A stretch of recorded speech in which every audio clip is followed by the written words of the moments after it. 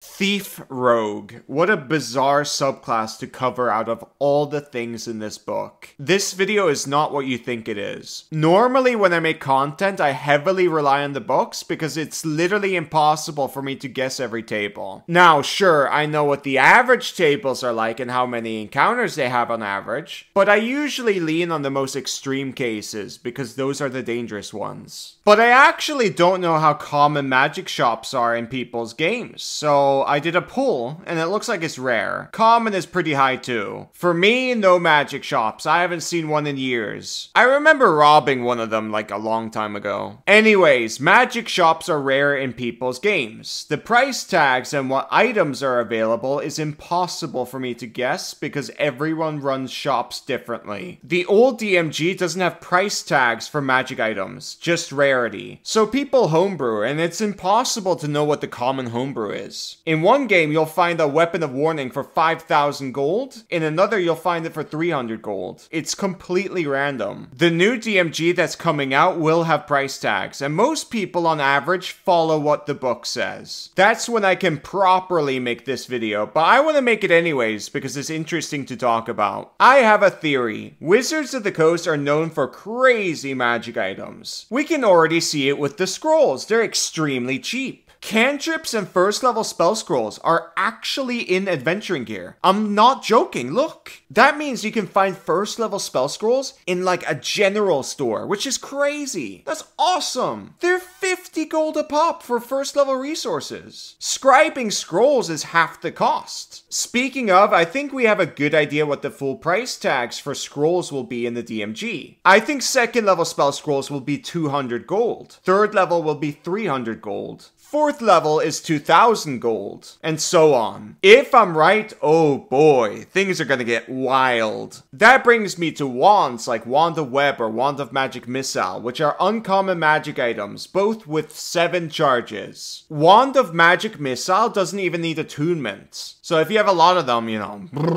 Now, what if they made both of these like 1000 gold because they're uncommon? That would be crazy for anyone in the party that can use them, right? That's cheaper than full plate armor. Kobold, you're babbling! What does this have to do with Thief Rogue? The Thief has super interesting features that make scrolls and magic items better. So feeding the money gets really funny. The more money and shops there are in the game, the more powerful this rogue becomes, to a point where it's not even a rogue anymore, even though it might have 17 levels in rogue. Welcome to Pack Tactics, where the thief might be the 2024 artificer if you feed it enough money. Now, there's a lot of DM fiat behind this, but to be fair, there's tons of DM fiat for martials in general. So it might not be that different. At least you can scribe scrolls. But that's if you dip one level into one of the full casters, which I assume you will. Anyways, the video. Level 3 Fast Hands. As a bonus action, you can do one of the following. The thing we care about is use an object. Take the utilize action or take the magic action to use a magic item that requires that action. So you can now action cast with a magic item, then bonus action cast with the same magic item or a different magic item. The one spell with a spell slot per turn rule doesn't apply to you. That's double the spell power, and this isn't like the old action surge where you had to short rest. You could just keep on doing this. Now, of course, you're spending more resources than most casters can probably do in a round. And the resource is tied to gold, especially with scrolls. But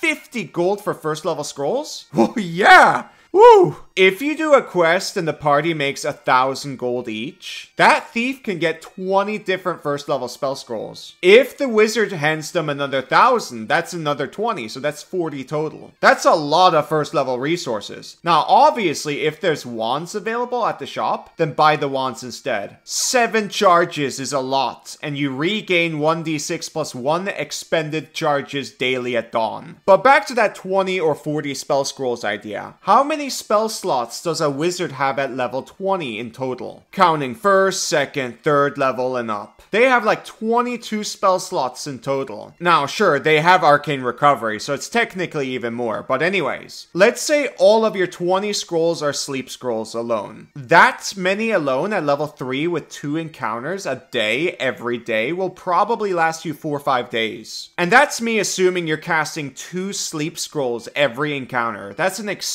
extremely liberal assumption. That's a lot of sleeps for just one encounter. If the sleep consistently lands very well or you're conservative with it, then it will probably last you like two weeks. Keep in mind, this was just a thousand gold. That's less money than full plate armor. Think about it. They're action attacking somebody. Maybe they get sneak attack off. Probably. Then bonus action cast sleep. Maybe it knocks out a creature or two. Maybe even four. That would be nuts. That's a really big play at tier 1 and tier 2. Or what you can do is round 1, cast sleep at the boss. Oh, he made the save? Well, that's fine. Just throw sleep again on the same round. That's basically like disadvantage. Sure, you blew a hundred gold, but getting the boss out immediately is really important. If they have legendary resistance, you're burning that away quicker. Whoa, you're like the old monk! Yeah, kind of. Old monk, even though it did bad damage, was actually really good at burning legendaries. That's basically gone now for monks. Kind of a shame, but oh well. That was their unique standout back in the day. But now we just have Thief, and I'll gladly help this Thief get enough money for our scrolls and wands. What if everyone in the party pools their money together to get a wand of Fireball early? That Thief can cast two Fireballs in one turn. That's insane. That's 16d6 AoE damage. On average, that's like 56. So if you hit two targets with those fireballs, that's easily over 100 damage total in one turn. You're incredible at nuking, and you are legitimately keeping up with Fiend Warlocks who are spamming fireballs. With one or two encounter days, you're straight up better than them. Keep in mind you're a rogue with expertise in Arcana, you better pick Arcana. So you can also scribe scrolls yourself if you have a wizard dip. And that also lets you use magic staffs and wands too. Maybe your wizard buddy can join in and make scrolls with you. Good bonding. It makes you more powerful. By the way, the scrolls you make are tied to your spell save DC and spell attack bonus. If you have 16 intelligence, then your DC will scale just fine as you level. Like the sleep scrolls you make will never be bad. They will always be useful. Another great option is Hideous Laughter Scrolls, which is better for single targets and bosses. The DMG isn't out yet, so I don't know the DCs for all the leveled scrolls, but we do know that first level scrolls you buy at the store have a set DC of 13. As you progress, these scrolls at the store obviously become weaker and weaker, but you have to remember the unique advantage you have with these cheap scrolls. You can spam them. Like if a creature has plus 5 wisdom save, that's a 35% chance they will fail to save against the DC 13 sleep scroll. That sounds pretty bad, right? But if you're double casting sleep on that round, that's a 57% chance they will fail. That's the same as giving them disadvantage. We love giving creatures disadvantage. You could also buy a ton of magic missile scrolls. Those are auto hits, 10.5 DPR. If you cast them twice in the same round, that's 21 DPR. That's the same as like a fourth level magic missile. Now, I don't recommend you double cast magic missile, but you do have that option. Obviously, you want to attack with your main action to get sneak attack off. But if you have nothing to do with your bonus action, then bonus action magic missile is great. There you don't need to worry about the scaling at all. You just auto hit. As for higher level spell scrolls, if the spell is on your class's spell list but is of a higher level than you can normally cast it, you have to make an ability check using your spellcasting ability to determine whether you cast it successfully. With rogue focus with skills, that doesn't help much. It's not like you can use reliable talent to auto succeed at everything. Now, of course, this might change in the DMG. Like, it would be awesome if they changed the check into Arcana, which I think they will actually do. But anyways, you have two options. Either you just have three levels in Thief and go rest in Wizard. That's the most optimal play in my opinion, so I do highly recommend it. Or you can go through the painful crawl to get to 13 levels in Thief. There you get a feature called Use Magic Device. It says you've learned to maximize use of magic items. Granting you the following benefits. Attunement, you can attune up to four magic items at once. Charges, whenever you use a magic item property that expends charges, roll 1d6. On a roll of 6, you use the property without expending the charges. Scrolls, you can use any spell scroll using intelligence as your spellcasting ability for the spell. If the spell is a cantrip or a level 1 spell, you can cast it reliably. If the scroll contains a higher level spell, you must succeed on an intelligence arcana check. On a successful check, you cast a spell from the scroll. On a failed check, the scroll disintegrates. Attunement and charges are straightforward, but notice in scrolls it says Arcana check.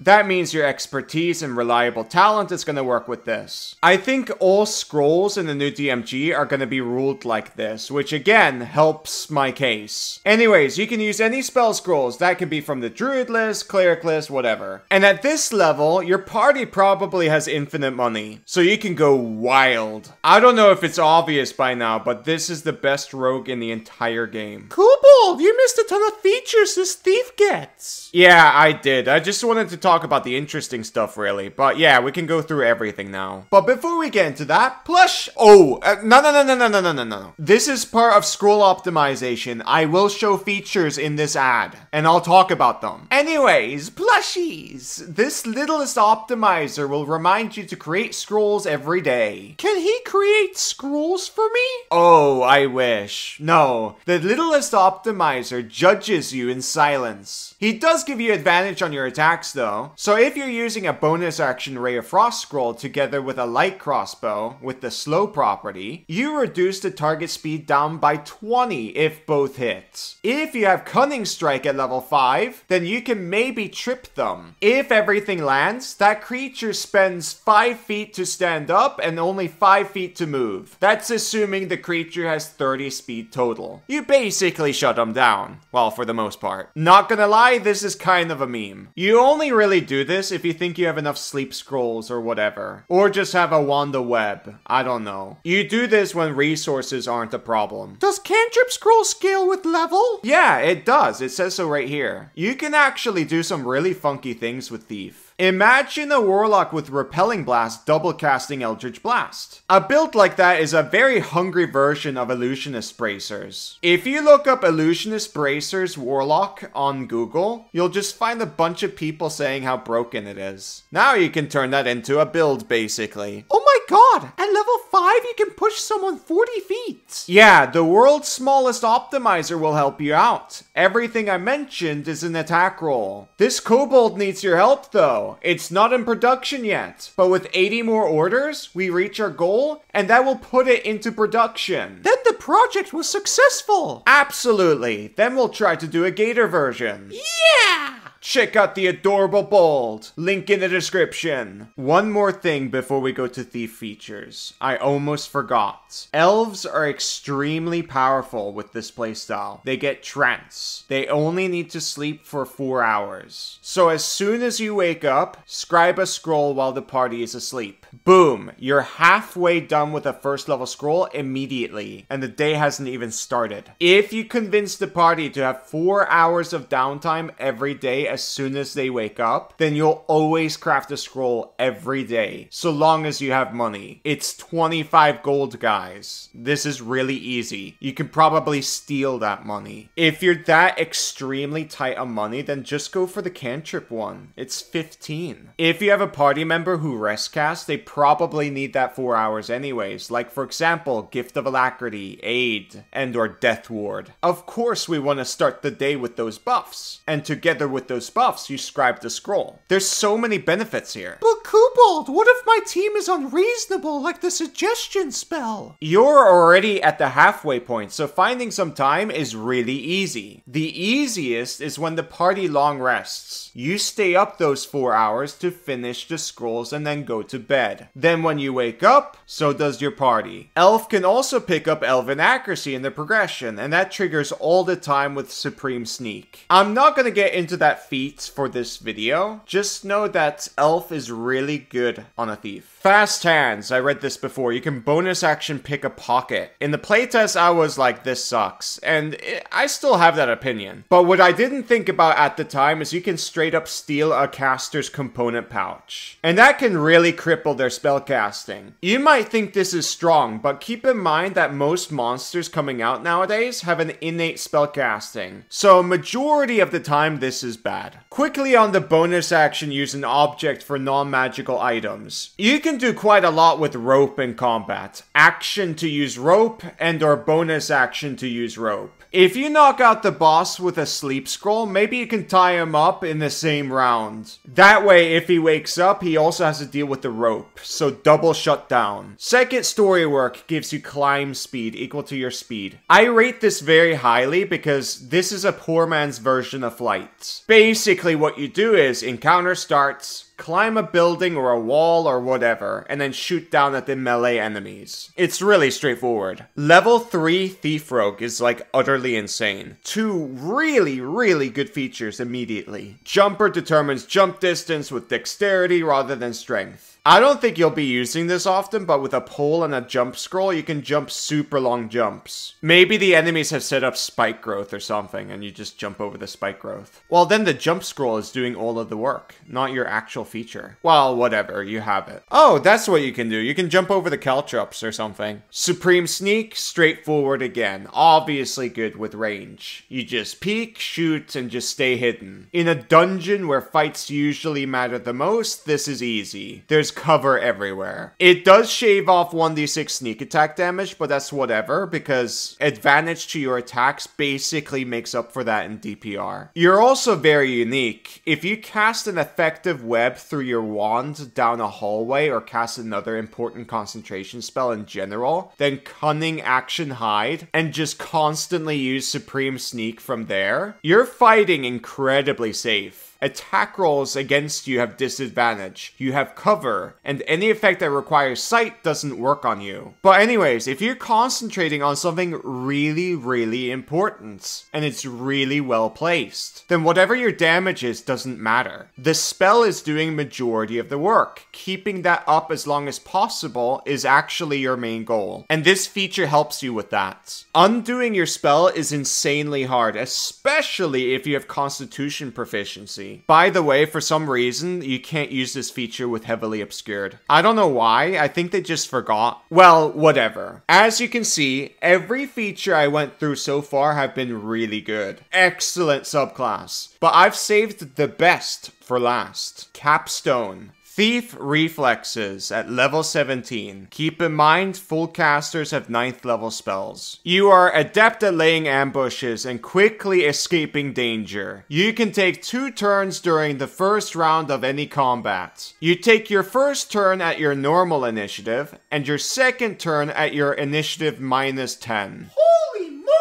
Yeah, this is one of the best capstones in the entire game. It's up there with Illusory Reality, which is the best. Your power is doubled in the first round. To put it into perspective, with a Staff of Power, you can cast three fireballs and then cast Wall of Force last. That will drain the entire staff in one round. The first round. That's bonkers. And these are 5th level fireballs, so you're probably doing over 300 damage total. And then auto shut down the creature with Wall of Force. That's a massive play out of the gates. Super funny. Best of all, if the party has enough resources and scrolls and magic items, the wizard in the party might actually simulacrum you for even more spell power because you are literally a machine gun. With the simulacrum, you can cast 8 leveled spells in one round. 8! That's so many! You're gonna cast control and blast everywhere. This is the best martial in the entire game, but it kind of depends on the table. If your party is good with teamwork and magic items drop often and there's magic shops, then yeah, this is absolutely the best. If you're playing something like Curse of Strahd, then don't play this. You're gonna be starved of magic items and money. As for gritty realism games, oh boy, best martial in the game every time. You get so much downtime in those games because short rest is 8 hours and long rest is 7 days. You and your party are literally printing scrolls like crazy. You get so many resources in gritty realism games that you don't even need to think anymore.